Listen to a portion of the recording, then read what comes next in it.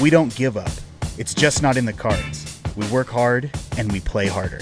And we hurt, we fall, we fail, we fight, but we recover. At Aspen Laser, we know that no matter the pain, you'll keep pushing through, but we believe you shouldn't have to.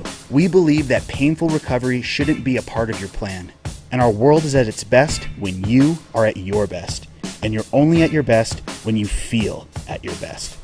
So it's our commitment to only ever give you the best because we don't give up. It's just not in the cards.